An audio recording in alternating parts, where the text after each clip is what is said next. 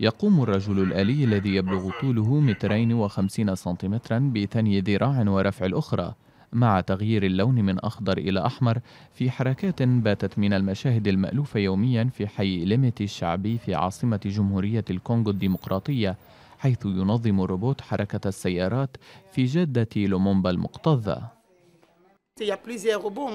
هناك العديد من الروبوتات في العالم ولكن الروبوت الذي يؤمن سلامة الطرقات ويوجه حركة السير هو مبادرة من صنع الكونغو ولا بد من تصدير هذه المعارف إلى بلدان أخرى كتلك الواقعة في إفريقيا الوسطى وربما الولايات المتحدة أو أوروبا أو حتى آسيا.